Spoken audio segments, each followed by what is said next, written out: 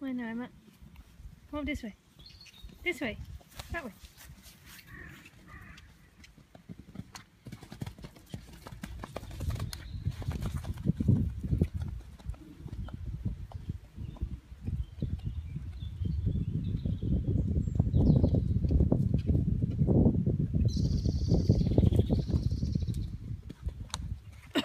way.